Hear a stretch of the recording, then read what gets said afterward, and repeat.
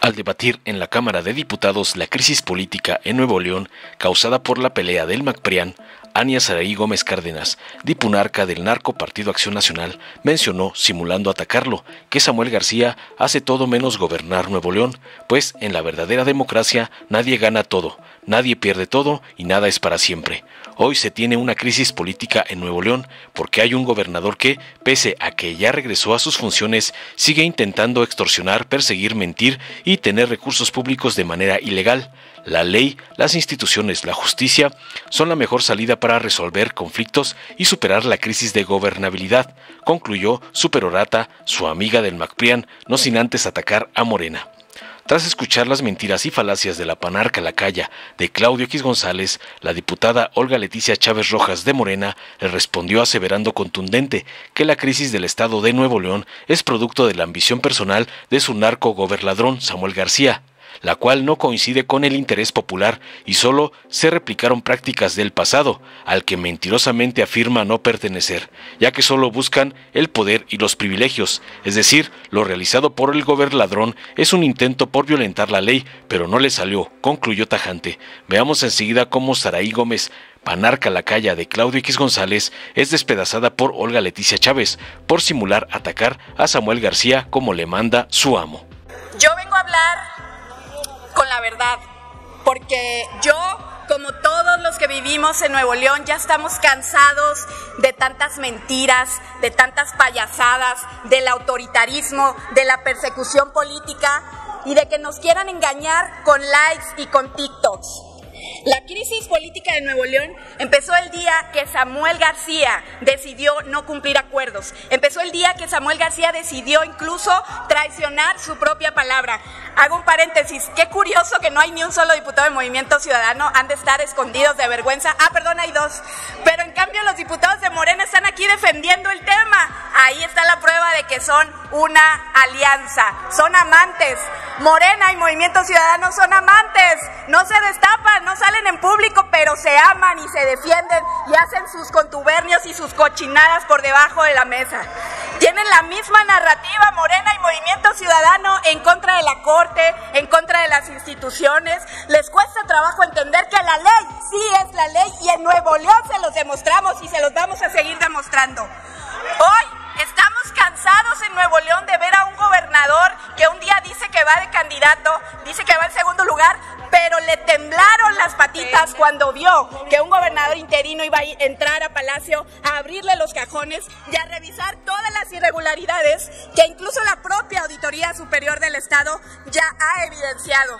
Porque Samuel está haciendo un desastre en Nuevo León. Hace todo menos gobernar.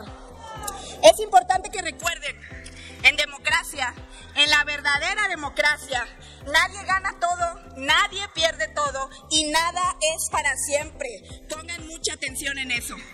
Hoy tenemos una crisis política en Nuevo León porque hay un gobernador que sí, ya regresó a funciones, pero sigue intentando extorsionar, perseguir, mentir, retener recursos públicos de manera ilegal. Pero fíjense qué curioso, justamente hoy el, el Poder Judicial acaba de llegar a Palacio de Gobierno a exigirle al gobierno del estado que desatore los 2.500 millones de pesos de recursos que ilegalmente ha estado deteniendo a los municipios. Presidenta, pido ponga orden, por favor.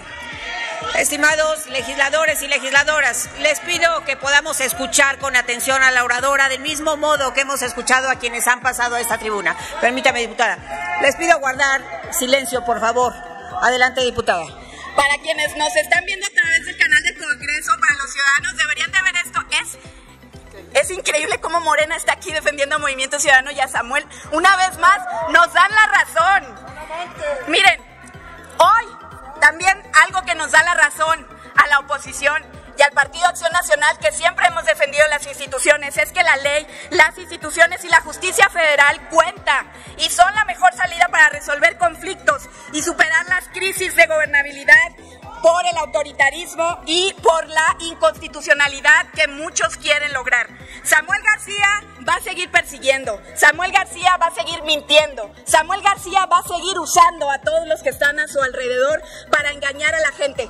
Pero afortunadamente aquí estaremos nosotros. Y por cierto, va mi reconocimiento para los diputados del Congreso del Estado de Nuevo León que se mantuvieron firmes e hicieron valer la ley y la constitución a pesar de que Samuel García envió paleros y porros a reventar el Congreso del Estado de Nuevo León. No lo digo yo, están plenamente identificados en los medios de comunicación, en videos, donde eran precisamente eh, militantes y ciudadanos y funcionarios de Movimiento Ciudadano. Es lamentable, por eso me parecía lamentable que hubiera aquí diputados de Movimiento Ciudadano intentando defender lo indefendible.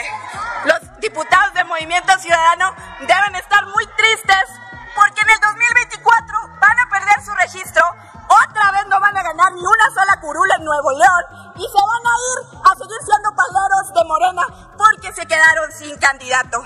Para las mexicanas y los mexicanos que pudieron haberse confundido, quiero decirles que sí hay de otra. Y está aquí, del lado del frente opositor, que cada día se consolida más, que cada día es más incluyente y que es la única oposición, la única opción real de poder ganar en el 2024.